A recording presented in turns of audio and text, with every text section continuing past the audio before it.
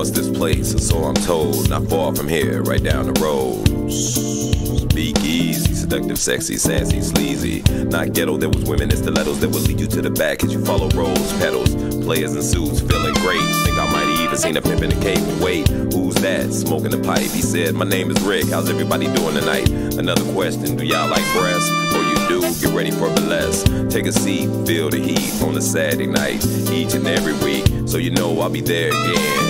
Cafe Un-American. Come on in, have a good time. We're good friends, sip good wine. Here's a few drink tickets to help you kick it, but shh. Speak easy, slide upstairs when you're tired of the club. Sprinkle up pimp dust, smoke a little bud. Get real close, maybe make a little love, but shh. Speak easy. Ain't nothing open in my city after two except for legs. I was feeling alright on a Saturday night bed. I had a friend with a grin and a friend with a band. See, they knew me at the door, so I slid right in. Head nods and points. People passing joints. Seen a freak with a booty juicy like an orange wood. And I'm Thursday tonight. I'm gonna party like it's my birthday. Guess what? It's yours. We gon' turn up the music and close the doors and keep the popo a no show at the flow show. Got the whole party like King Dro. You go, pimpin' coming in, feeling good, fresh from the hood. Got Joseph in the back like no, he did. Mm. But yes, I did. See, I seen it all when I was just a kid. And now I get to live it again. So don't stand outside, baby, come on in. And have a good time. Good friends, sip good wine. Here's a few drink tickets to help you kick it. But speak easy, slide upstairs when you're tired of the club. Sprinkle up pimp dust, smoke a little bud. Get real close, maybe make a little love. Speak easy.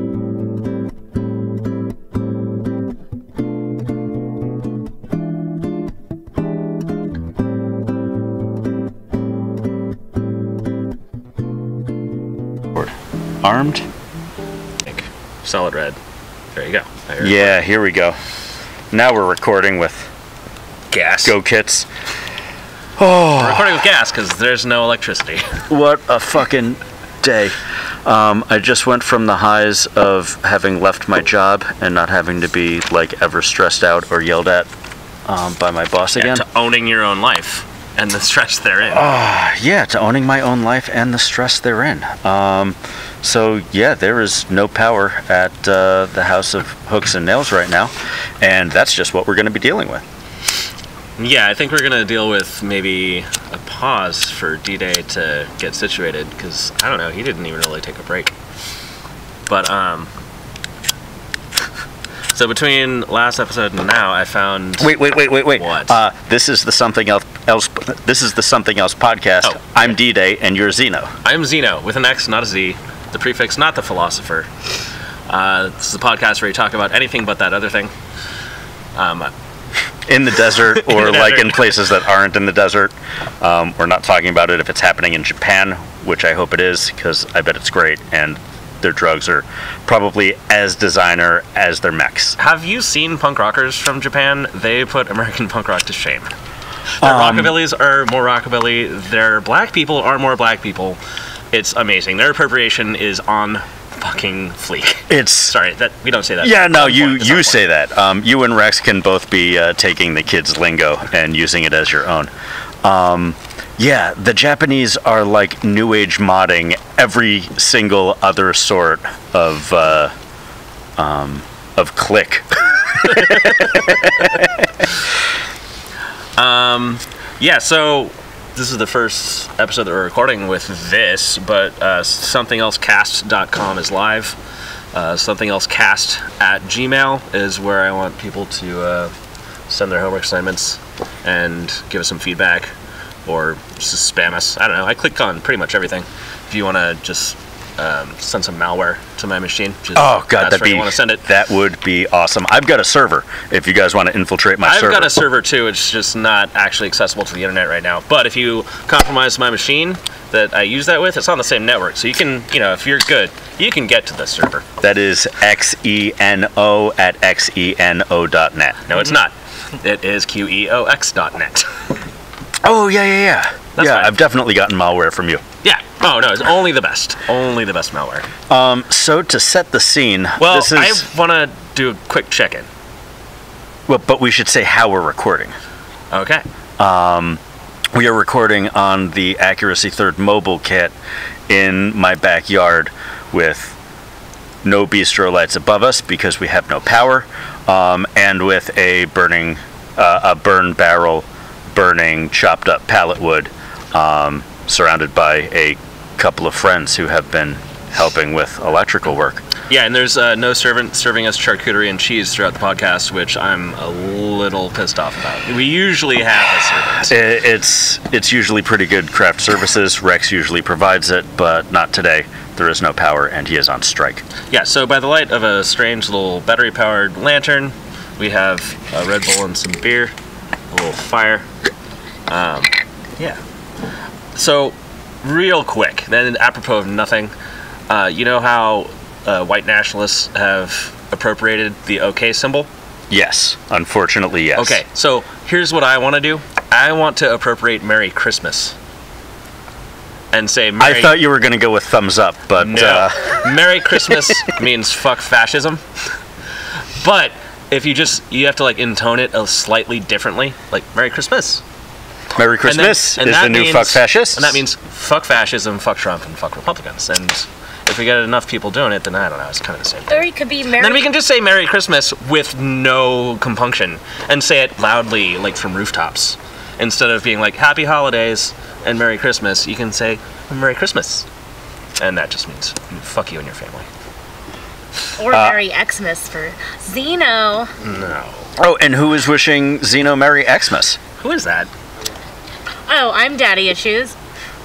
Hi. And uh, I wish you a a Merry Christmas, Daddy issues. Wait.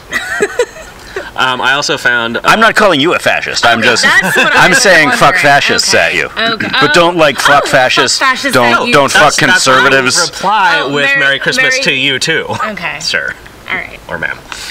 Um, also, I found a podcast called the Zeno Podcast, which is uh, evidently a Mormon podcast from the Brigham Young uh, University that has nothing to do with us whatsoever. Please go check them out. Uh, they sound fascinating. I- but uh, when you're clicking on Patreon, uh, that's not us. Please do. Yeah, um, d- give d- to our Patreon, which is the Something Else Cast. Yeah, and don't give to our Patreon, but definitely don't give to the Xeno Podcast's Patreon. Okay. Um, I'm from the town where Joseph Smith magically threw the magical golden tablets into the Susquehanna River. I didn't know it was that far north. Yeah, um, I knew it was like kind of New Englandy, but I didn't know it was like, just there. south from Susquehanna, Pennsylvania, just north of Hallstead, Pennsylvania. Mm-hmm. There's like a cemetery, and well, there's more shit now because they've started buying up Wait, all was the that the cemetery that uh, Sarah and Jason took me to? Yes. that same town? Yeah, yeah, yeah, yeah, yeah. We all Holy went there. shit. Oh my god, we all went there. um, remembering things with Xeno from my early 20s. Um, that was like almost 20 years ago, dude. Mm-hmm. Um, I almost don't know anyone from 20 years ago. Mm-hmm. Um, so that's your shitty badge of honor. Oh yeah, no, I'm a stain that you can't remove. Yeah. Uh, Uh, it's wear that badge proudly. you're persistent, but like it's become fine. I haven't had to ask you to leave humans will for like a acclimate to anything, including being friends with me. They'll be like, ah, after a couple of years, this is fine. I guess So- this is normal now. just about 10 12 years ago um, on new year's eve i had to ask xeno to leave my house because he was screaming at me that i'm not punk rock anymore because i wouldn't let him stab through the drywall of my apartment with like a $160 chef's knife that i have and I explained all of this to him. I remember it being Uh, pretty checks out. calmly. Checks out. Um, this was uh, like 2:30 to 4 in the morning um, after New Year's Eve, uh, New Year's Day. So I was probably wrecked as shit and not nearly as calm as I remember being. But I, I do remember dealing with it with a measure of aplomb. I feel like I do take those directions to heart. Uh, while grumbling, I generally do um, do the thing I need to do. When a friend of mine is like, uh, "Hey, you, What? you need to stop," Yeah, we don't do that anymore. But we used to. We used to live in shitholes. right? Wait, have you seen my place? Ah, not lately. I mean, oh god, that carpet was terrible. Remember how disgusting that carpet was? Probably not. Nope. All right. Well, so last episode we did music. I feel like it was both too long and too short. Um, there are a few things I kind of wanted to flesh out a little more, but we also wanted to keep it under an hour. And I kind of wanted to introduce the concept of having musical accompaniments to these things. So I set up a YouTube account under something else, and I'll be releasing a little uh, playlist for each uh, podcast that'll be an accompaniment. Fabulous. And if we get 100 subscribers, I'll let you slap me. It's never gonna happen. Dude, I didn't think it was going to happen for Accuracy Third. We got like 70 people in 15 minutes. Sure. Um, yeah, please don't subscribe to this. I don't want to have to hit my friend. Daddy issues. You give a good slap? Oh, can I talk now? I'm talking to you. Tell you not to. No, I'm kidding. Uh, I've I've uh, been told that I I give some slaps. Great. Well, you'll get to see Daddy issues, and she'll slap me, and then again, I will drink I uh, some that. Thanksgiving shots. oh yeah, the Thanksgiving shots. Oof. Yeah. They are savory and delicious. So last time we did music, um, and like we totally didn't get through everything we wanted to talk through. So I think we should have like sequels to the episodes we do, but like definitely not do it for at least a year. But That's fine. pick up right where we left off. Oh, that's fine. yeah, no, but uh, the homework was to read the bit of the Futurist Manifesto regarding the art of noises. Which I uh, skimmed through the PDF today on my last day of work. Yeah. Um, And realized one's it was 46 pages, and then Well, did not read anymore. The the issue is that the the art of noises is actually the first part of the whole manifesto. It's only like three pages. Oh, fabulous. Um, I am 100% planning on uh, writing an art manifesto if uh, you want to write like three quarters of a page of it. Sure. Great. Gonna use like really big font. No, I am going to use circular Okay. logic. You know Um, what? If you're not gonna let me bend the rules, then I'm out of this fucking game. All right. Fine. Um, here are the. I just wanted to touch on the art of noises a little bit. Oh, Um, please. here are the instruments that uh, they wanted to include in the 1913 manifesto by Luigi Russolo. Um, so there's classes of noises that are to be used in a performance, and this is back when they had like orchestras and shit. But uh, they wanted roars, thunderclaps, explosions, hissings, roars, bangs, and booms as one class. right. The next is whistling, hissing, and puffing. The next one is whispers, murmurs, mumbling, mutters, and gurgling. Mm-hmm. The next one is screeching, creaking, rustling, humming, cracking, and rubbing. The next class is beating on dot dot dot metal, wood, skin, stone, and pottery, etc. And then the last one is voices, which are shouts, screams, shrieks, wails, hoots, howls, death rattles, and sobs. And therein are your instruments for conducting an orchestra of noises by the Italian futurists who later became subsumed in the uh, fascist party. So we, we won't talk about that part. Well, no, but I Um, mean, they, you know, Merry Christmas. Death. Merry Hitler Christmas. painted a few landscapes that weren't totally about killing everyone. I was going to say that Death Rattles and Sobs is Right. like an incredible name for their first album. Yeah. But uh, but then you start thinking about the whole fascist bit, and it like seems equally Mm-hmm. as appropriate. Well, I mean, they so they wrote their manifesto around 13 to 15, and I think fascism kind of got roaring in the end of that. So I think fascism may The Roaring been- Fascies. Yeah. Yes. Well, that's our band name. Album Death Oh. Rattles and Sobs. Another thing I want to introduce is just a new band name every episode, but it's fine. Beat you to. I mean, you can share the name of my porno. Which is that? Uh, it's for you to come up with. I Oh. named our band this episode. Well, not not off the cuff. That's not Wait, bad. off the cuff. I'll accept it. Um, also, in expanding our, our reach in the digital realm, um, I'd like to do a Twitch stream for one of these, and also I think it'd be kind of neat to maybe shoot a video and upload it to Pornhub, but have no porn whatsoever, just uh, just a video that we put together. Do you know of that guy that does that? No, but I'm down. I, Um, I, it's like let's do that. There is this dude who is putting like 7 to 15 second long clips on uh, Pornhub, Mm-hmm. and they're all like, brother walks in on sister undressing. Mm-hmm. Uh, I think the guy's name is Ryan Creamer, if I'm not uh, mistaken. Um, and it's him. He's like. Uh, uh, just like a smiley looking, I assume, British dude. Um, and he opens the door, and it's like the shot of him coming in. He goes, Oh, I'm terribly sorry. I'm going to leave And just and shuts then he just shuts the door. and he's got like 12 or 15 or 20 um, videos of just like how you would actually deal with that situation if you weren't in a porno.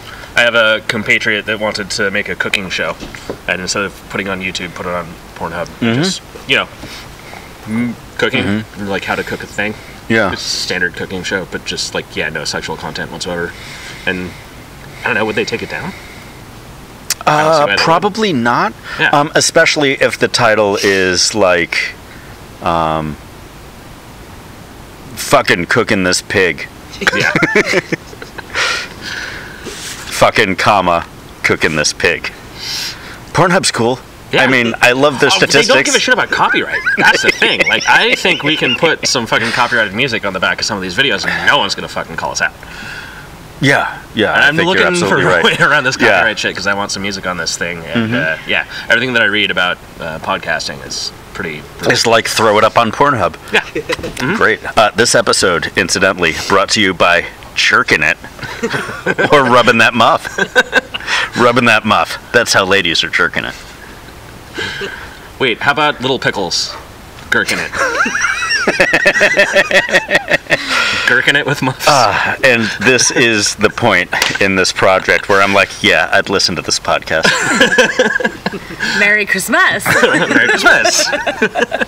um, so the topic that I wanted to uh, broach this episode was yet another kind of introduction to something that I want to make a, a repeating theme of each podcast, but this will be a big one. Is uh, story time, mm-hmm, which we'll make some bumper music for, and to be like doo doo doo doo doo doo story time, something like that. Where uh, I was thinking more like dun dun dun dun dun dun dun dun dun story time dun dun. We could have both and play them at the same time. Yeah. Uh, Or- let's layer or that. could I want release, it as dissonant as possible. And if you can slow yours down so it's half the speed of mine. Story time. Yeah. Um, so these are stories that don't involve Burning Man, um, but that we have because we're awesome people outside of that thing. Man, I used to get so butthurt before I went to Burning Man when people would ask me if I'd been and I'd tell them no and they're just like, "Oh, well you're you're exactly the type. The kind of art you do, like the way you carry yourself, that's like where you should be." And just fucking bristle at that. Yeah, You don't have my number. Yeah, well, uh, a lot of the people that I met early on in that thing had a lot of shit that they did beforehand that was pretty impressive, and they kind of wanted to come share it with people, and it was a good venue to share it with a bunch of other weird people. Mm-hmm. And yeah, now it's you kind of share your weirdness with complete strangers and billionaires, and then they're like, "Ha, cool!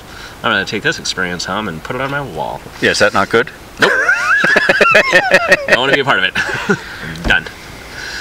So, uh, and also, like, crimes are fun. Mm-hmm. I think that's kind of it's not quite the definition of crime, but fun and crime, the Venn diagram, they overlap a lot. Uh, I believe in the iris of that Venn diagram is scofflaw. Yes. I like when people are confronting me on the sidewalk or something and telling me that my dogs are supposed to be on a leash when they're behaving perfectly. But whether they are or not, like who are you to tell me how to handle my business when I am obviously handling my business?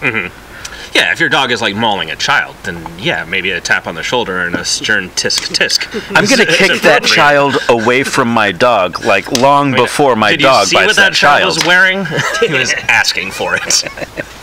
the speakeasy that I worked at in Seattle did have a house rapper named King Dro, and Uh-huh. he made a song about it called Shh, Speakeasy. It's, Oh. it's adorable. Yeah, no, it's a really good track. Um, I do hate the title for this episode, but remembering Oh, I that it is that track, Yes. I'm fine with it. Well, that's Um, the point. I mean, that's what speakeasy means. Is like, hey, don't spread it around, but there's a cool place you can go. Like, don't tell cops and don't tell people are dumb. So speak easy. Don't speak loud. Like, come to this party, and it's gonna be awesome. Man, Let's I an episode about how great gatekeeping is. Merry Christmas.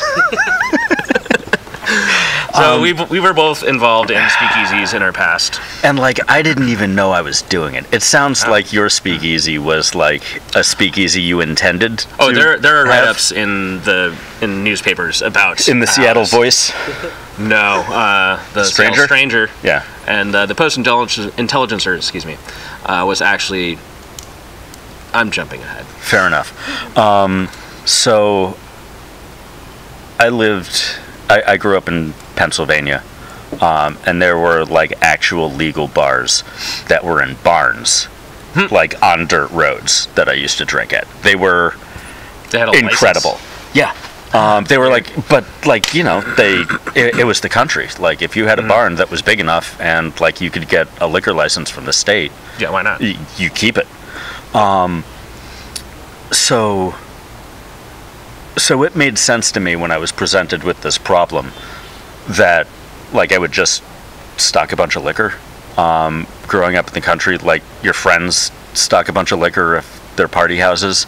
Um, your friends' parents like taught you to do this by Yeah. going to like you know Fourth of July parties and other holiday parties at their house, or just like every weekend or whenever WWF is on. Yeah. Um, So I moved to upstate New York after going to college in Pennsylvania and didn't really know anyone. Um, I was asked to move out of my parents' house um, either within three months or I would have to start paying rent. And I was just like, oh, folks, super funny. Um, we are never getting to that point. Um, and a couple weeks later, I got my first like real job with uh, an I-9, and uh, what is and an I nine? that's the thing that you fill out um, that says like you're a Oh, citizen. with, with an I. I thought that was a company. That's dumb. I, get, I get it now. It was with The- an engineering form, company The form, I know. um, that was in the uh, original office building that Sears was started in. Apparently, who knows if that's true? I never checked it on the internet. There was nothing that like you were able to prove was real Mm-hmm. There's in so the many early little 2000s, late where 90s. I uh, I tell people like, oh yeah, no, this was this thing that has this historical context, and they're like, oh yeah, and I'm like, well, I mean, everyone thought so. yeah, everyone told Well, me no that. one, no one said it wasn't. Allegedly. Definitely. yeah, no, definitely did not have the internet back then. everyone at work told me that it was the Sears Roebuck building, so I guess it was. Um, and uh, uh, I've I've been in plays and acting since I was in like second grade.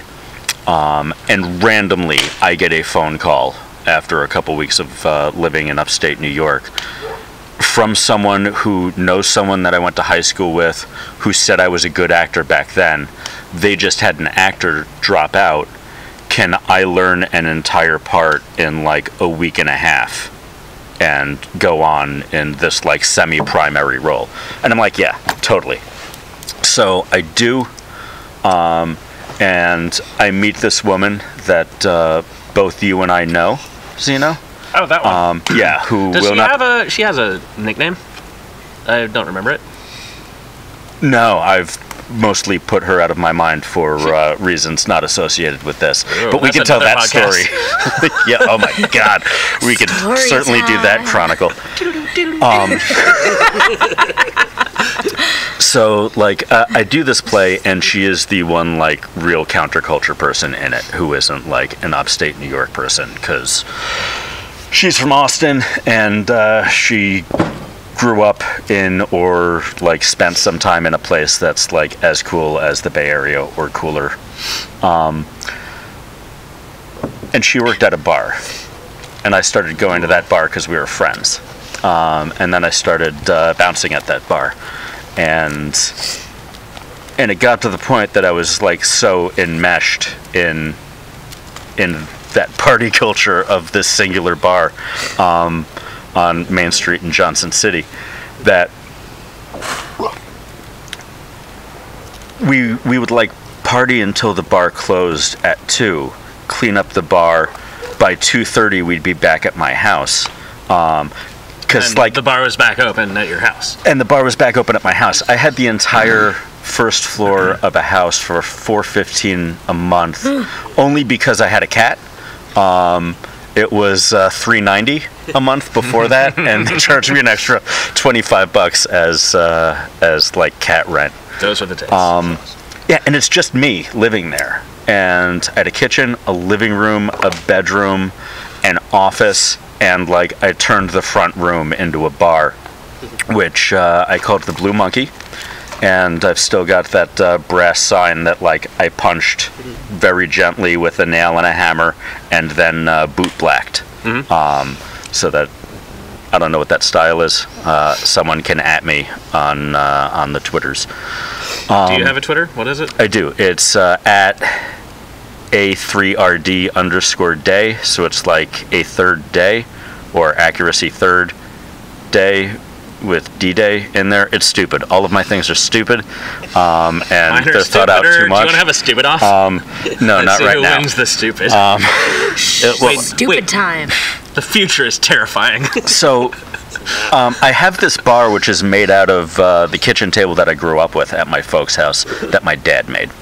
Um, it's all of this uh, tile that he and my mom got from uh, um, Barcelona, like when they went to Barcelona in the early 70s. Um, and it's framed out really nicely, and I just got the table um, top itself because it was hanging off the wall at my folks' house. So I figured out how to make it legs. Like I put a cabinet next to it. I had a neat lamp above it. Like I put some lounge chairs in the room. Uh, the room could totally comfortably hold like maybe 12, 15 people. Um, That's a good number. but and hanging off the front of the house was like a semi-enclosed um, porch, so people could like be half outside in the winter and uh, be smoking outside, which is only a thing I instituted when we were doing bar time, because it was the early 2000s and we did just smoke in our houses. I remember those. So we're just having bar party at my house. Right, Um, but I mean, you're putting up all the booze, right? You need to Three, four nights a you week. Should, you should maybe get reimbursed for this. Maybe. Sounds like. Um, and there is in Vestal, New York, um, or there was at least, um, a super nice liquor store. One of the ones where you get like the one third size metal wire shopping carts when you get in Oh, there yeah, yeah. with the basket underneath for uh, all of the like three liter bottles of liquor. Um, and I didn't do any of that shitty, um, illegal, and immoral shit of putting uh, low quality booze in high quality yeah. bottles. This is so tempting.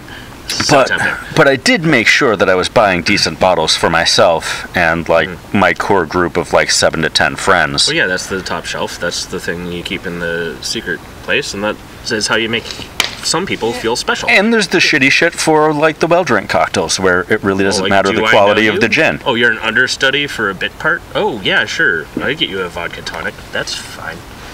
Seagram's it is. Oh no, we were we were given Bankers Club. Um, Yeah. all y'all on the East Coast. It's an East Coast, West Coast thing. Uh, we all have different shitty vodkas. Um, yeah, like well, not just vodka. Like Popov, if uh, if vodka of the gods or Popov was an entire line of Mm-hmm. liquor, um, Bankers Club is the shit that used to be in Pennsylvania and at least upstate New York, by where I grew up.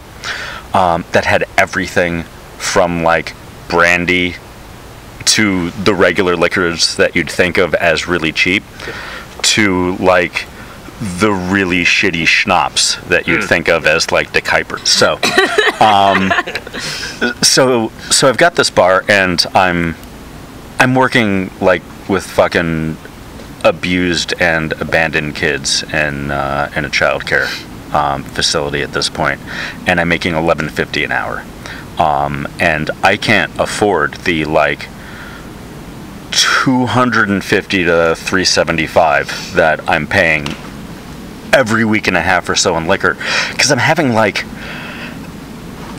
10 parties every two and a half weeks um, at my house.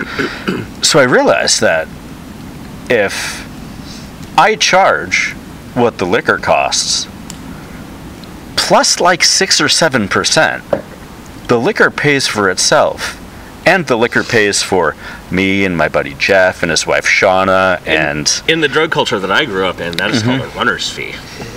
Ooh, I didn't have a term for it, but I charged a runner's fee for my bar. Yes. Um, and like, it was I'm great. going to spend the time to go get it. So, uh, I don't know, give me a couple. And I mean, it, it gave me a, a couple dollars left over, Mm-hmm. which uh, I'm sure if uh, I were to do actual accounting of it, would have paid for the uh, the toilet paper. Oh, actual And- accounting is terrible. Never do that. Yeah, It will make um, you very sad. This goes on for like, I want to say five months. Sounds good. That's a good run. It might be like three and a half months. Um, feels I did a lot more lying to myself back then than I do now, a but it feels society. real five it months. feels like it's true. It's true. Um, and like it's it's a Friday night or a Saturday night. Um, it was a big night at the bar.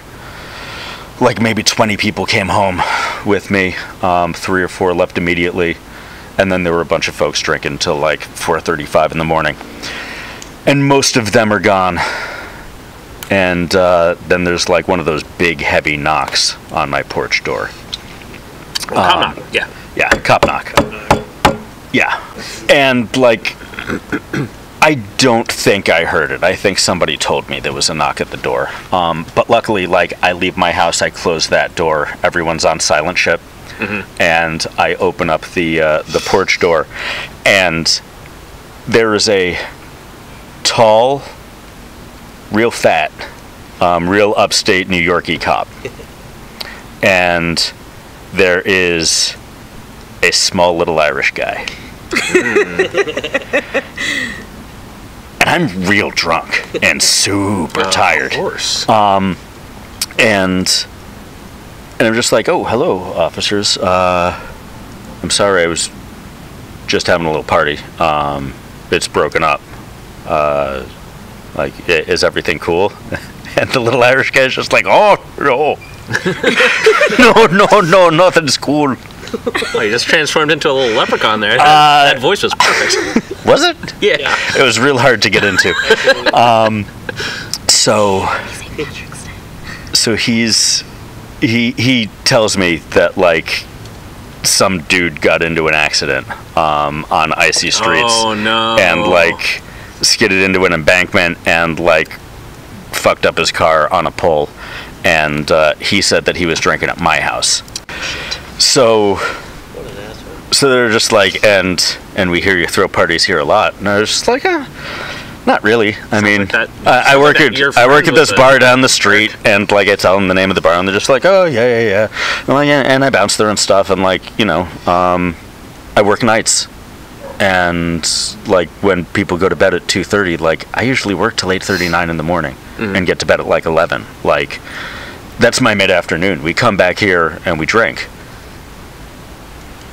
And then i thought like i was about to say and you know i buy booze and i charge like Yeah, no, Five to seven No, no, percent. no. And- the money changing hands. That's the key. and as that goes through my head the next thought comes and the next thought about why the cops are there Right.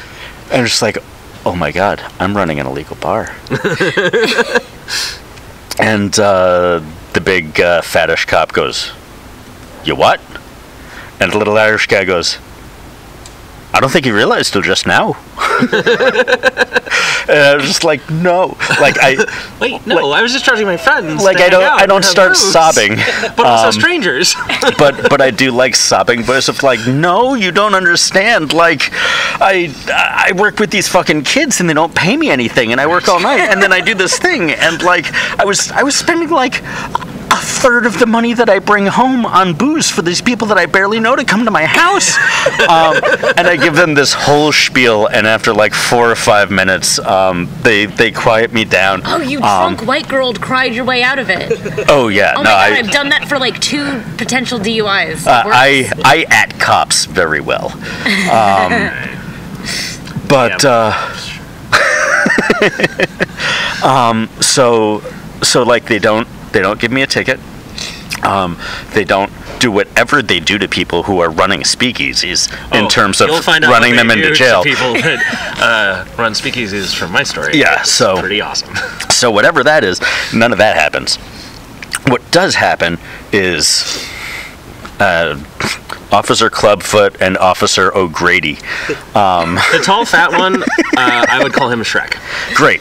Um, so Shrek, uh, Officer Shrek and Officer O'Grady um, end up coming back to my house at random times between like three and five thirty in the morning. For the next like fourteen months. What else are they gonna do? It's a small town. Yeah, and they, they like come by and they knock on the door and they say hi and they expect me to explain to them who everybody in my house is in relation to me Wow. at a moment's notice. That's not. I don't think that's within their purview. it's not. Um, but like nobody But told like me that you don't have to. Thing, so I don't know how Yeah, that works. it's that country shit. Like nobody told us that you don't have to let a cop into your house. Like cops came into the houses where we were drinking when we were in high school, and like Damian Scales pissed on my friend Kevin Kelly, who was passed out like in front of their house. Um, like. Like we didn't grow up with healthy boundaries Yeah. between like law and people.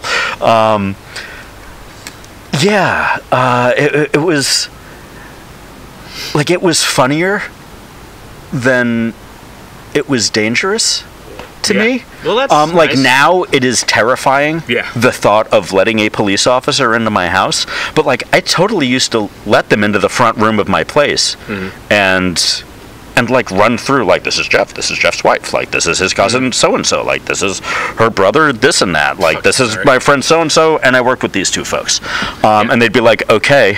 Um, I don't see any money out. Make sure there's no money out when I come back here. Mm-hmm. Yeah, and part of it is actually like a taxation thing. They they, they want to get money for the county or you know whatever for the liquor license. Uh, If That's- we're not going to make rich people pay for the gigantic fucking properties and homes they have, they're going to target the people without high priced lawyers. This podcast is brought to you by Solidarity. Solidarity, how do I buy that? get some. Where do I get it? I got ten dollars. Can I get some solidarity? Uh, you can fucking pull your nuts up and uh, act like a person whose nuts are pulled up, um, or whose uh, um, what what are those things that are connected to your lady fallopian tubes? Ovaries. Yeah, you can pull your ovaries right the fuck out um, and get some solidarity with uh, people who Pull need to your be ovaries unionizing. out and your nuts up. Thank you. I couldn't have said it better. No problem. You didn't. That's why they call me daddy issues. Uh, this podcast is also brought to you by Shadows, also known as the poor man's mirror. Have you ever needed to check your hair but didn't have a mirror? you oh, know Oh, what? God. Just shine a light towards your head and look at a wall. You can see kind of what your hair is doing. Yeah, whatever the opposite of stand your ground is, that is also sponsoring this podcast. Sit. Give your place. Sit your air. uh, mud. I don't know. Sponsored by Mud. And juice. Mud. You like water. You like earth. That's in the middle. We're not really ground. All right, so um, my speakeasy story is a little bit more involved. Um, starts with me and some of my friends living in Seattle, and we found a really great little uh, warehouse space underneath a tattoo shop in Capitol Hill. There's one rule. If the fire department knocks, don't let them in. They're only good for two things putting out fires and shutting things down. And we didn't want to get shut down. Or vice versa. Yeah. So it was super cheap, uh, and it turns When is out this? this is uh, I'd say 2005 in Seattle. Well after I knew you. Oh yes, So you came from where to upstate New York and went to where? God, I went from Texas to upstate New York, and then back to Seattle, Hmm. and then to the Bay Area after that.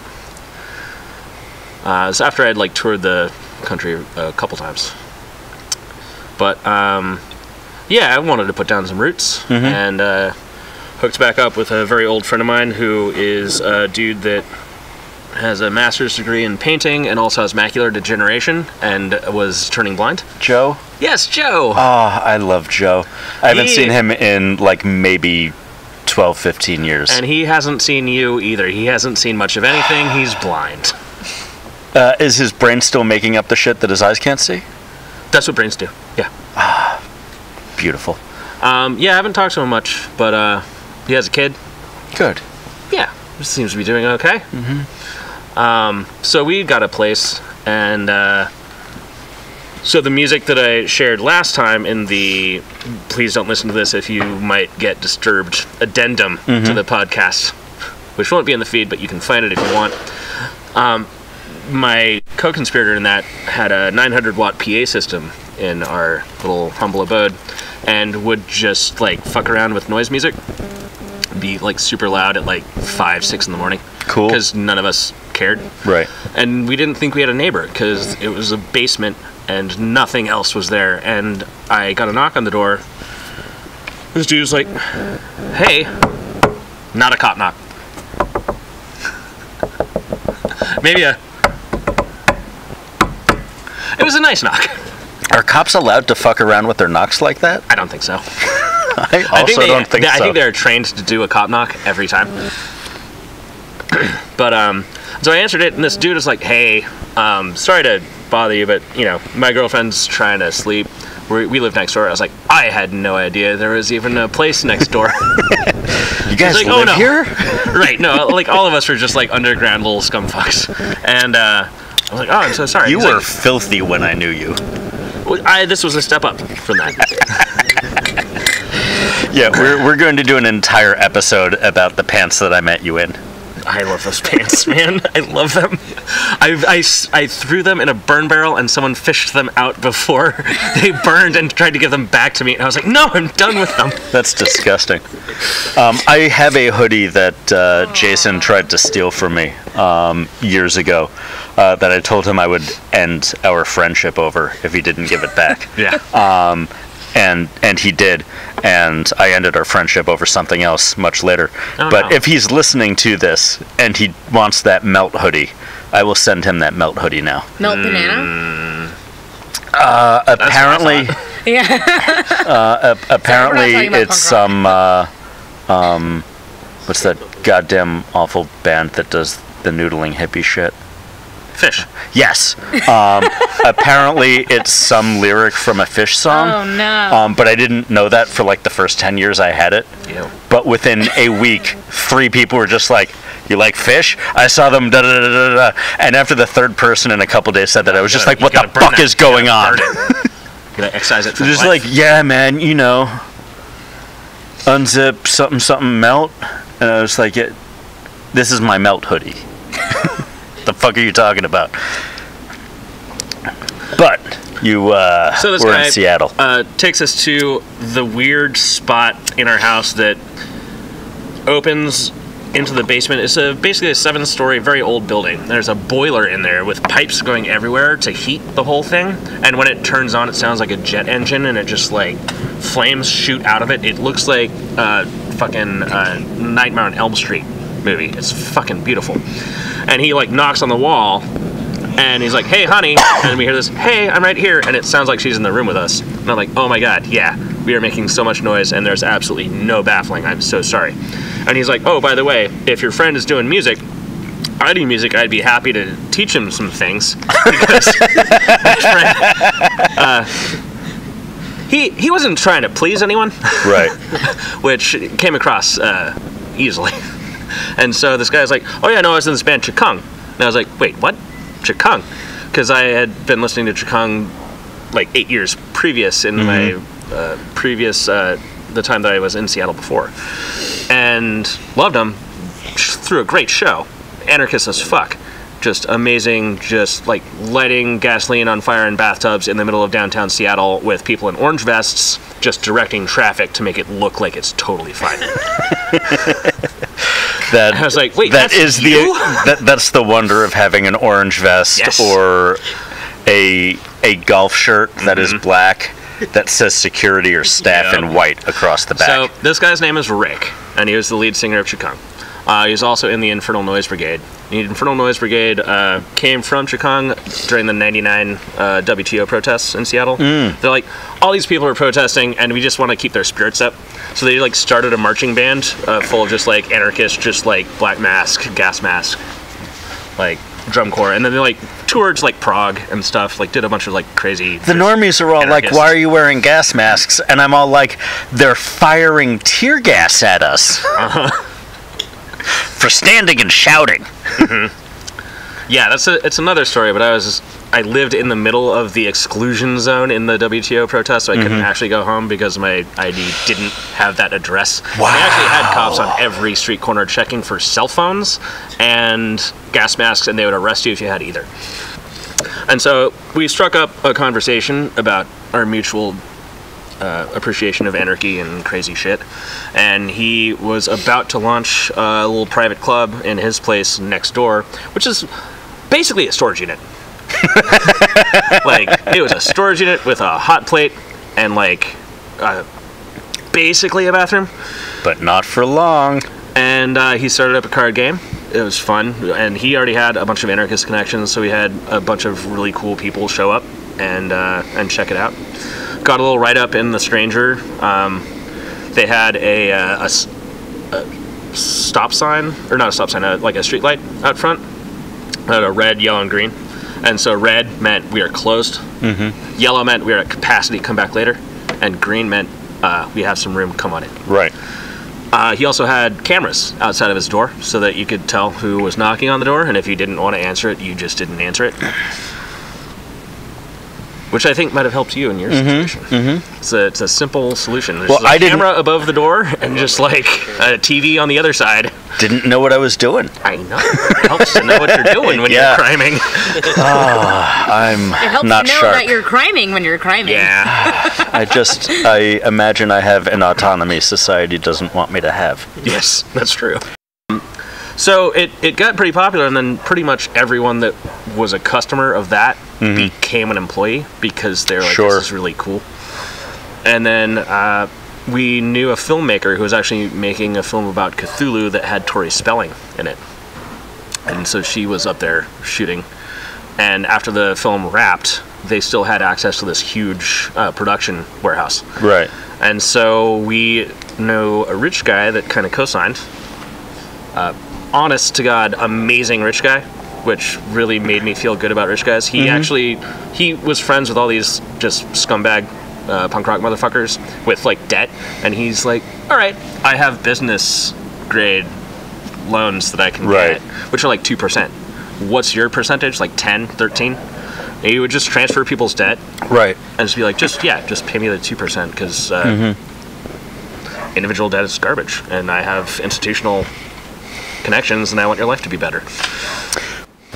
Um, so we move into this larger space, and it's actually subdivided. There's this weird cranky dude that has uh, just a ton of machinery in half of it, and the other half was the production studio. So we set up a bar, and we uh, go f- to make like a a big uh, blowout party to celebrate moving from the tiny storage unit to a place where you can actually do cool shit. Right. And Rick did manage to have like a poker game and some blackjack in his storage unit. But now we had like a roulette table, two Nice. tables of blackjack, and like two tables of Texas Hold'em with like seriously 25 and 50 cent mm-hmm. blinds. It wasn't big. It was just to make sure that the person that was dealing wasn't just donating their time. It was purely pretty much just operating costs. And then a bar at the back. And we would sell after 2 a.m. And then we also had some burlesque, and they wouldn't use pasties. Ooh. oh. But that's a that's a big deal in the Pacific Northwest. It is. It's dumb. It's a dumb law, and we wanted to break it. In we also Pennsylvania, sold, we I also mean- sold Cuban cigars out of the coat check because that's a Oh. dumb law too. We had a uh, Valentine's Day massacre party where uh, if you came, so number one, we had a camera outside the door again, Mm-hmm, and our security was uh, Army Rangers. There weren't just like fucking cameras back then. Like No, no, there's like, it, like wa- it wasn't simple like I would have gotten a camera like no, it was- from was- Best Buy or some was- shit. No, it was simple CCTV. No, it was 2005, 2006. They're, they're cheap. They had. Uh, I'm defending me back in 2002, 2003. oh, okay. I don't fucking know what you guys did, knowing what you were doing and thinking about it. So all of our security had tuxedos, mm-hmm. and they were also uh, Army Rangers. Um, one of them, like the guy that ran it, Muddy, was a sniper. we had no problems ever. What what Muddy had was a pocket full of drink tickets and a real can-do attitude. if someone was making a problem, he would take them aside and be like, "Look, here's what's going to happen. I'm going to give you a couple drink tickets and you're going to have a good time. And you're going to stay away from that guy because no one wants any trouble. So here's your drink tickets. Have a good night. No one did a goddamn thing there. That's really smart. Our uh, our mutual friend um, who bartended in that bar in upstate New York, um, she taught me that as a bartender, you are the drug dealer of the house, and you never actually have to deal with anyone creating a problem. What you have to do is get on the bar and tell everyone in the bar that nobody is getting more drinks until you get those two motherfuckers out of here. Yep. Um, and I'm loud enough so I didn't have to get on the bar. But like, that's how I bounce. you don't have to do shit if you let everybody. if you let everybody know that you're cutting them off. We also so we had a uh, Mobs, mobs are great. Okay, Prove to me whenever call it a mobs have mob, been I bad. call it a group of friends with, with some shared interests. Because that's what it was. I mean, we were all breaking laws and we were all like anarchist little pieces of shit. And we had a shared goal to have a good time. And in- we did. in a neat place. And so uh, we made sure that there was a dress code. You Mm-hmm. had to be dressed up in like a tux or gangster attire or flapper dress, uh, gender neutral. Like if you want to cross dress, that's totally fine. Uh-huh. But when people came up with like a hoodie and sweatpants and knocked on the door, we just wouldn't answer it because we had the camera. That's And- smart. Yeah, and they got sad and walked away. Which comes But back our to bite us set- in the ass later. Like, like we're those folk. Um, if if we know that there's like a thematic like speakeasy party happening Oh, I somewhere, will dress the fuck up. exactly. And what Rick said is like, hey, remember that, you know, regardless of what you are doing tonight, there's 40 other people that are the main characters in their own movie, and you're an extra in that movie, so you better look the part. Right. Um, you know where speakeasy comes from, right? So, so the whole code word thing wasn't ever a specific code word back in the day. Of course. They wanted people who like were a part of their set to come to mm-hmm. their parties, and like they weren't thinking about costumes the way that we think about costumes now. So you were expected to like be able to like use slang mm-hmm. and like speak like a member of your set Yeah. easy Mm-hmm. as it were to be allowed into these places where like you were going to be around the fucking hipsters of your day the white guy comes in, he's like, "Hello, gents, and I- I'm looking for some broccoli. That means marijuana." Could and there's I-" no Yeah, internet course, or yeah. like real mass media back then so people who like aren't in the counterculture Mm-hmm. don't know to say dude mm-hmm. and dudette mm-hmm. instead of sir and ma'am yeah. That's so it yeah, it, it, again, um, gatekeeping. I, I think Mm-hmm. is valuable. Uh, I think a lot of cool shit could have not been ruined had there been a little bit more gatekeeping, which uh, may make me an asshole. I don't know, but um, so we had our first party, which was a Valentine's Day massacre. Mm-hmm. So if you showed up uh, as an individual, your ticket was five dollars. If you came in as a couple, it was fifteen for the both of you. and you got a raffle ticket as a couple. And uh, then we did this uh, announcement where the raffle was pulled, but it was a completely it was a fake raffle. So all the couples like looked it up, and uh, my roommate and a friend of ours got were like, oh, they, we won, we won. So they, they get upstairs on the stage. And Rick is out there talking about how much we really respect love and how, you know, coming together is beautiful. And I'm on stage with a fedora and a trench coat with the collar pulled up and a gun in my pocket. And in the middle of Rick's uh, exposition about how much we love love, I pull the gun out with blanks and just shoot both of the people that quote unquote won the raffle. for And they fall anyone for anyone who has never like been in a theater when actual blanks are fired on stage It's loud. um, they are so amazingly loud and they are also usually only like half or a quarter of the black powder that is actually in a bullet Um, but what blanks are is just the cartridge, the copper cartridge of a bullet filled with black powder and crimped at the top.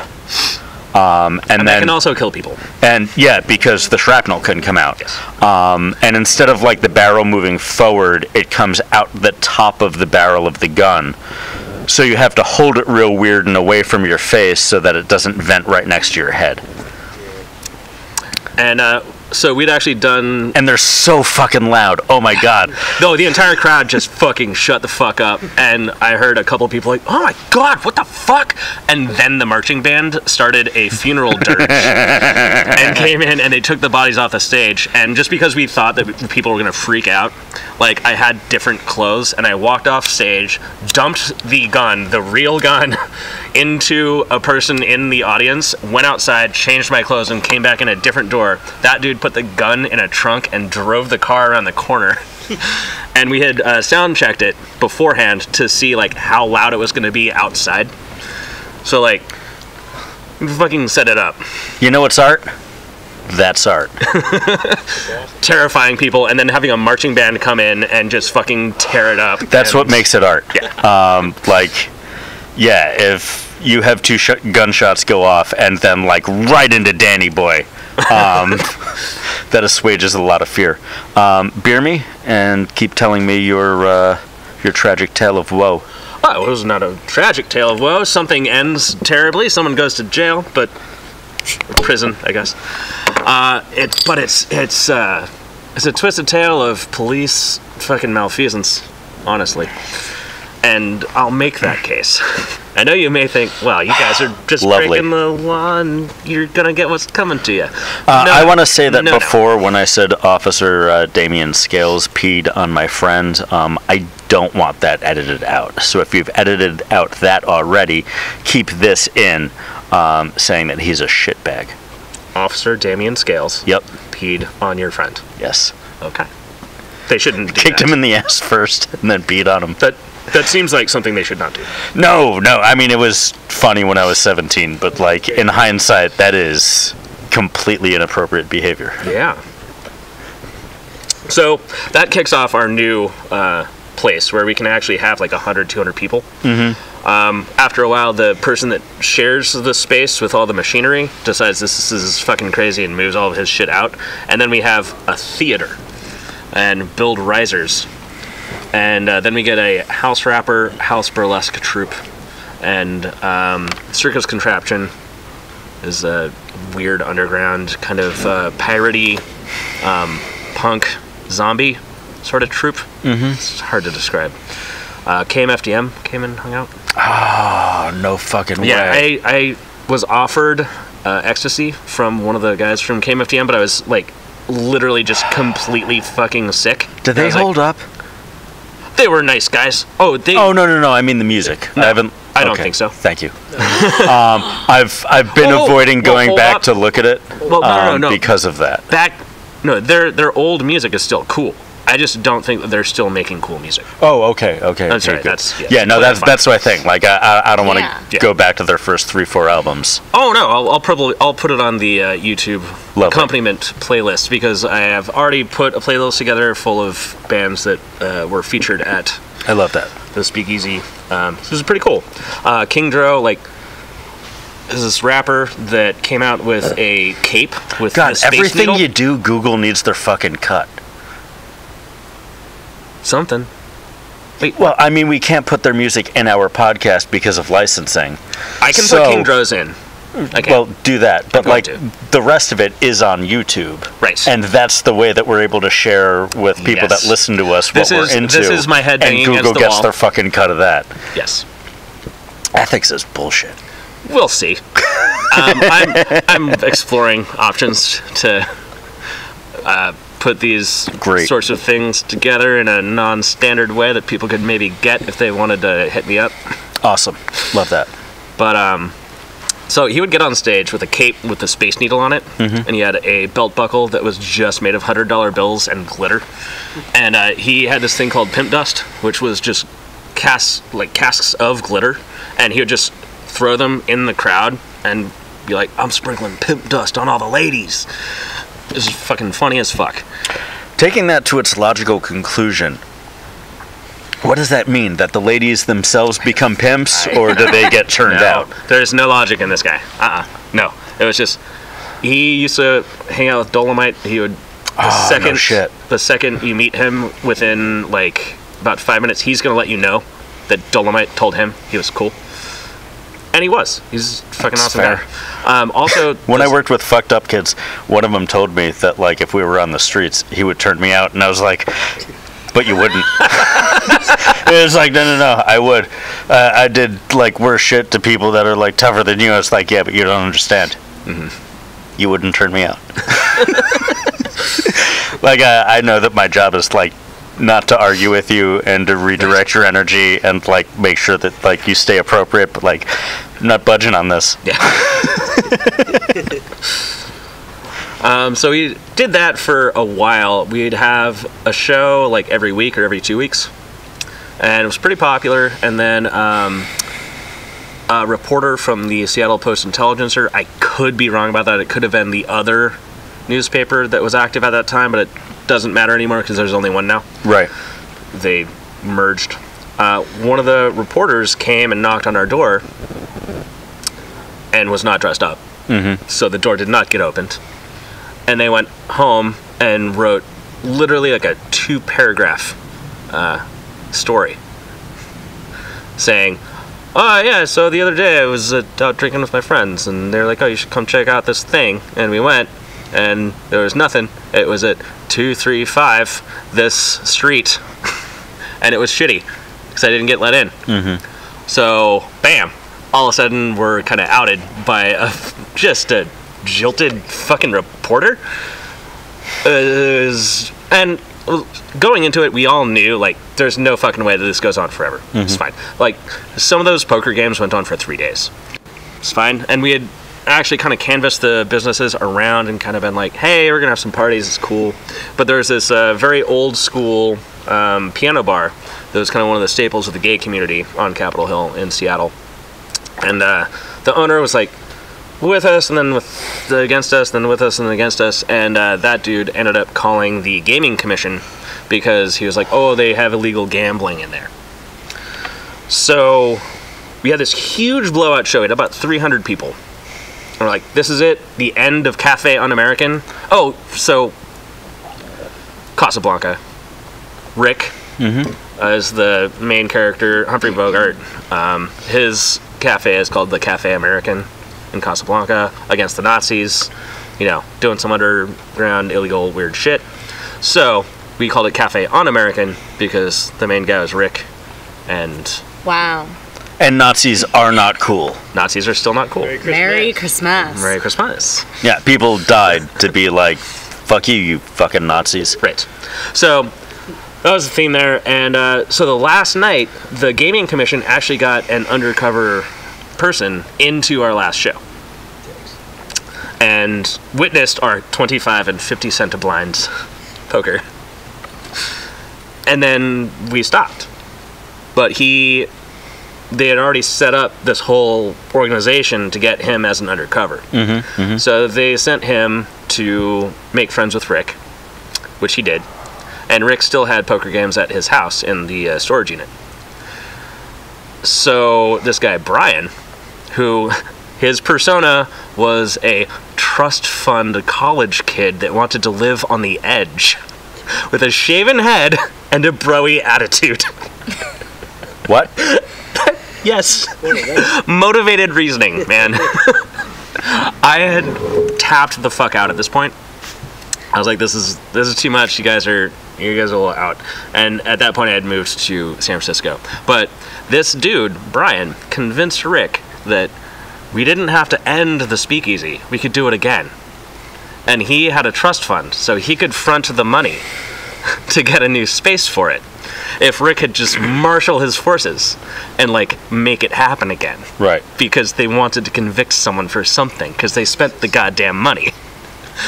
They s- ended up spending like over six million dollars of Seattle PD money renting a downtown warehouse. Like, so this guy Brian like bankrolls renting a whole new place, but Rick is like, we have to have a legit front organization while we do this speakeasy, like building in the back for, you know, doing all the crazy shit. So I'm gonna talk to all my artist friends and have art studios, and we're gonna rent them out super cheap mm-hmm. to all these artists, and we're gonna have a gallery out front, just as a front, but literally just did that. So all these artists got super cheap rent in downtown Seattle with a frontage on like 6th Street. SPD's done. Yes, on SPD's dime. He didn't know that at the time, but he was like, fuck over this fucking rich kid. Great. And the kid's like, okay, can we start it? Can we start it? Can we start it? And like, all my friends are kind of fuck ups. So like, yeah, they like work on it, but then they kind of party, and then they kind of work on it, and then they kind of party. So they never actually started the next speakeasy. Mm-hmm. This dude. So we had some sketchy friends. This dude came and had a beef with someone that was working there. Pounded on the back door. The dude comes out and he's like, "What the fuck?" And they get in their little argument, and this ex army dude just shoots a bunch of rounds straight up in the air to threaten one of our friends. Cops get called. Cops show up. Cops leave. Nothing. Cops are like, uh, seems to be dealt with. Uh, we're good. What? Yeah, because this was a sting. they didn't Oh. want to fuck up and compromise the sting. Well, at that point, y'all got to get out. where this where this dude, this Brian undercover guy who's been doing this for about a year, he's trying to convince people to make a gambling establishment where they do uh, Texas Hold'em for 25 and 50 cent lines so that he can get them on state gambling charges. It's they're like every time the doing it for FBI gets a year. terrorist. Just like, well, like the, this asshole was like, I hate America, and then we helped him grow a movement Mm-hmm. Yep. and sold him gave him explosives bombs, that and then don't work, the and. Mm-hmm. then we arrested him and put him in jail. Keep funding our program. Uh, can you guys put more uh, wood on the fire? It's chilly. Thank you. Your love hurts. Love hurts. Your love hurts. You're singing now. She is. Love He hurts. is. Cool. It's singing time. So, then what happened? Uh, where were we? Okay, so Brian. So yeah, they have basically half a block of a downtown property that the Seattle Police Department is paying rent on, like waiting for them to start doing some crimes, and then my friends, being fuckos, just can't get their shit together enough do to their do crimes. crimes.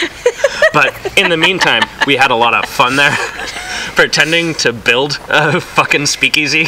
It's really cool. Isn't it though? Yeah. Legit, like shoots guns out in the fucking back, and the cops are just like, uh, it's cool, we got it handled, no problem. Uh, keep doing what you're doing. Finally, like they get a little fucking fed up for running this fucking sting for a year or two, and uh, like, okay, well, so I don't think Rick would be too pissed off if I said that he was an enthusiast of certain powders. Um, he liked them, he had them around, uh, and it was known that he knew where to get them. So this guy, Brian, uh, asked him, Oh, hey, uh, you know, I'm a trust fund kid, and I'm looking to live on the edge. Oh Uh, no. I would like to uh, maybe purchase some of these powders. And so Rick, after knowing the guy for a year, is like, okay, I'll give you a phone number. Like, I can't, I don't do that sort of quantity. So here you go. Passed him off. And the guy, like, met the new dealer and then moved up the chain and then moved up the chain again to the point where he was about to buy, like, pounds of drugs from Hondurans that had nothing to do with me or my friends. like these were dealers of dealers of dealers. And so out of Good rationalization, Xeno.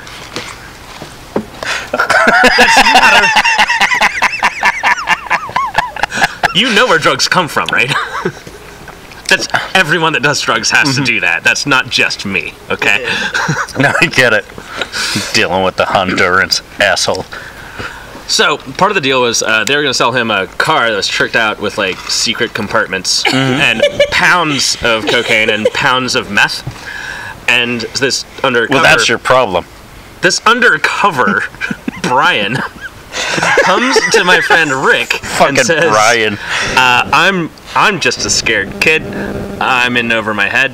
Could you, uh, I don't know, show up and uh, maybe have my back when I go do this crazy thing? Um, I'll give you five hundred dollars if you just show up and just I don't know, you, you're tall and menacing." And Rick is like, uh, Like five hundred dollars tonight. Uh, yeah, in the next couple days. And Rick is Alright. like, well, I'm short on rent, but I'm only short like 200, so don't even worry about it. Give me the 200. Like Rick talks him down Be chill. because he's a friend. And he's like, I don't. It, it's gonna What a nice fine." Rick. He is a very nice guy. He stands up for his friends. Um, so I'd like to think I'm a nice Rick too. Now let's make this more about me. okay, it's it's Rick and Damien. So uh, the guy's So like, I guess I'll. this this drug deal is gonna go down in this parking lot. Please show up at 4 p.m. Rick, uh, being a friend of mine, this is a, a fuck up.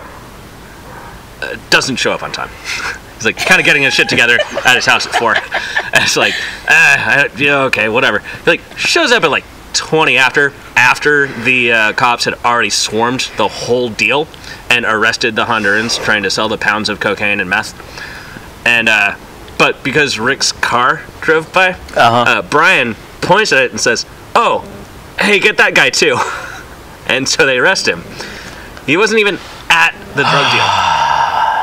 But get this, he had a handgun in his trunk.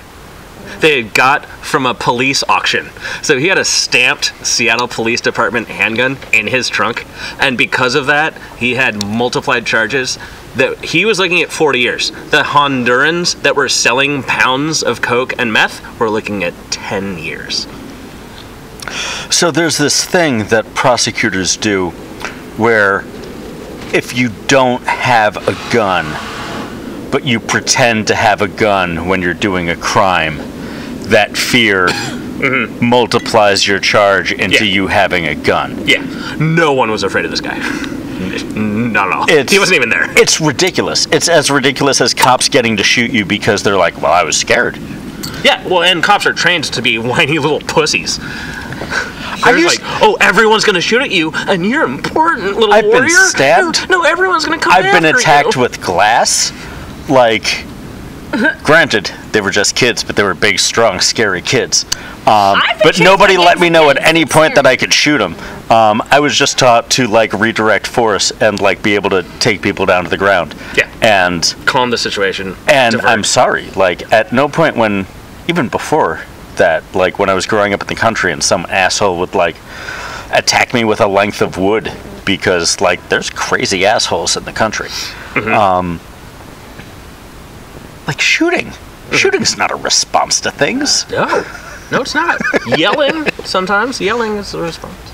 Yelling has worked for me so many times, including like having airport security like converge on me in an airport hmm. because they're calling my name to go to like ticketing and I'm standing in front of ticketing and no one's there and I was just like help and holy shit um security guy ran at me screaming like I'll show you fucking help That's cute. it was terrifying Yeah, I bet. that yeah like he didn't pull his gun on me but he had his hand on the butt of his Oh, gun the whole always time have their hand on their gun. Mm-hmm.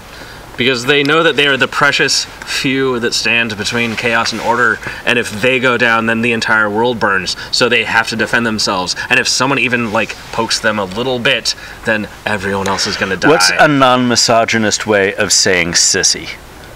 Rick gets arrested, and they he's been an anarchist all his life. He was the lead singer of Chikang, very anarchist band. They had T-shirts that had a step-by-step process of how to make a Molotov cocktail.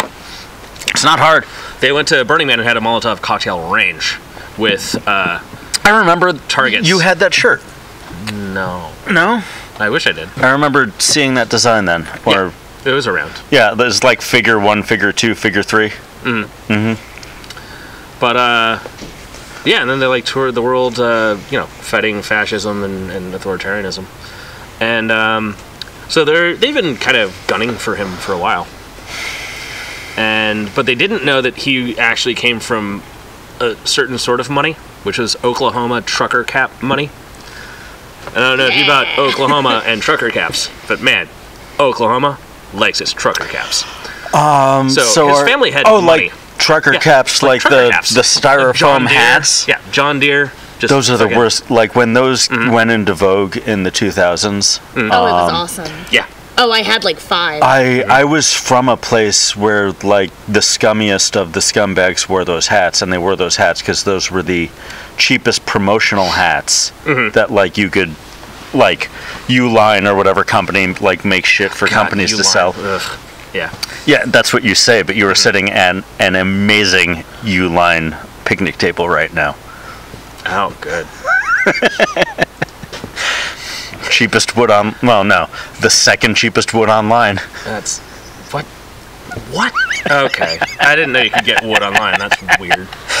Oh, dude, I get hard like over tons of things. Uh, wait. Are we talking about Pornhub again? Yes. Okay. This is that jump the shark. Get Uh, wood over tons of things? You got wood online. Oh. Anyway, I'm sorry. he's not. I am. That's a part of what gets me there. Um, where are we at? Uh, Uh, you're in Rick prison. is arrested, um, but they don't know he has money, and they're like, "You're looking at 40 years. Just uh, admit that you're this huge uh, drug kingpin." And he says no. And his lawyer comes in and says, uh, Don't even say no, motherfucker. his lawyer comes in and is like, uh, "What the fuck is all this? Uh, this is entirely entrapment. Uh, you spent six million dollars." Uh, trying to make an illegal establishment so you could like arrest people that did it with your money, Lawyers Uh, are so fucking no. smart slash evil sometimes. and so I wanted to be a lawyer for a I, long I've had time. such good lawyers. So they're like, well, he did all this. He did all this really bad stuff, and his lawyer's like, that doesn't matter. Inadmissible. You look like a fool. So here's what we're gonna do. Um, instead of the 40 years that you're uh, facing him with, we're gonna do 40 months, tops. And he's gonna admit to running guns to the Zapatista rebels in Mexico. Whew. Which Wait, wait, wait, wait, wait, wait, wait. Yes. If anyone doesn't know geography, Seattle is literally as far away as you can get from Mexico in the continental United States.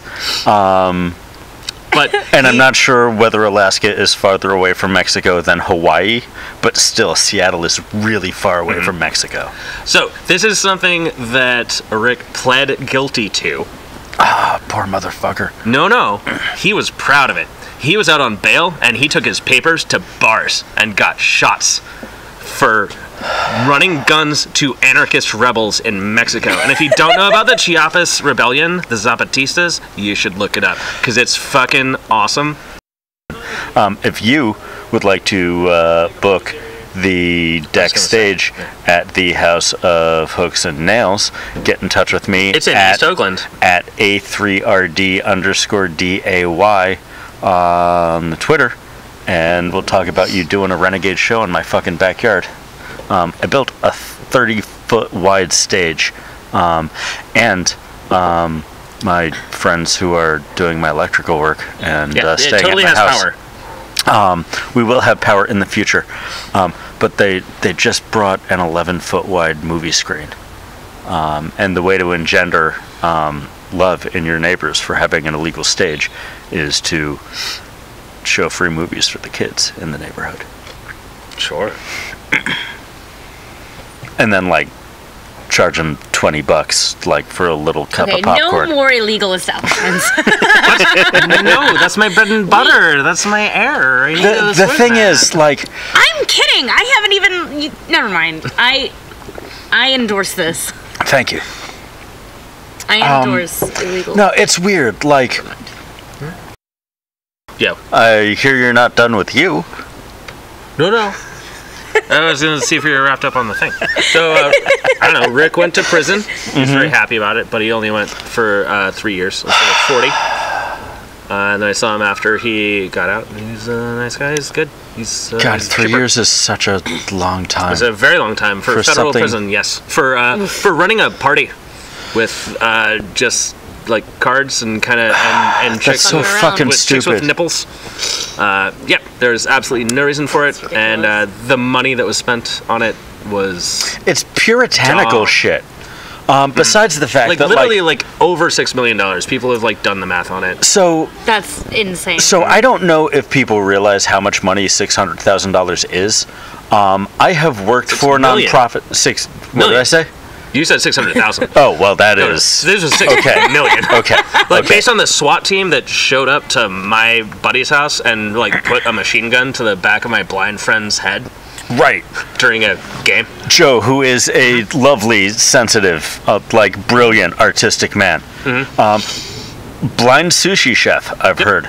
Yeah, they they had too many cops to actually fit into Rick's house. So- they had to wait outside with their guns and take turns coming in. I've been working for nonprofits most of my life. Um, I have worked for uh, like medium-sized nonprofits and small nonprofits. Large nonprofits are like Kaiser, um, which is the Nonprofit? Kaiser Permanente is the largest nonprofit in the know world. Weird. Ah, Yeah. Okay. Um, oh, uh, we we can talk about 501. Like that's that's what I've got my goddamn master's degree in. Um, if we want to talk about nonprofits, I will have my friend in here with the same degree as me, and we will be assholes and talk about how like support nonprofits, but like understand that nonprofits They're are a bullshit patch on like society banding together and having the government take care Yeah, of which them. is why Burning Man turning into a nonprofit means nothing and actually means something terrible. Eh, that's not entirely We're true not, either. This isn't a Burning Man Um, podcast. it- Wait, it's we're not, talking about that. um, there are there are so many more controls on nonprofit corporations Mm-hmm. than there are on for-profit corporations. But um, we were talking about something else, and my ADD refuses to tell me what that is. If you didn't have any parents, like I wish I was there We hope you're to help great. raise you in whatever uh, orphanage or uh, like group home creepy. you grew up in. Um, Oh, and uh, Xeno, I wish I was there to hug you when you were like 10 to 12 and you really needed my hug. no, if I had needed a hug and got it, I wouldn't have done all the things that I did. I get it. so fuck off. Yeah, I fair. need Your stupid hug. Uh, thank you. I appreciate the Yeah, sentiment. I got too many hugs. That's why I didn't do anything. Wait, what's the homework? Oh, um, what's the homework? Uh, oh, if you do don't a know, bit of crime, but don't get caught. yeah. Or think about crime. Uh, think about Ooh, So try to steal something using a self checkout. no, no, no, no, no, no. We, we, we, you can't promote stealing. Um, what you can promote doing wait, is no, no, no, no, no, no, no, no. The avocado as a bell pepper. Yeah, don't steal avocados. Um, what you want to do is is you want to see some sort of sign. Um, so just the way that like we've been conditioned and maybe how our brains work is like we understand hierarchy. We understand when like someone in authority tells us something. you understand. And when people put up official looking signs or messages, we just assume that those are the same sort of thing as traffic signs. Um, and we assume that like there is some sort of authority behind them. So you can put up any Um, sign you want. Exactly. Sorry. Feel free to make a sign, find uh, some place to laminate the sign, or do something that makes it look official. Even And if you could get like a chunk of like metal, mm-hmm. you put some money in it. Man, people will believe that sign. Uh, I. I have a great sign on uh, the stairs from uh, my first floor going down into my basement, which also doesn't have any power, um, which is like a uh, New York style subway sign that I designed that uh, tells you where the bathroom is and where like the studio and the garage is and where the existential terror is. Um, I thought that was everywhere.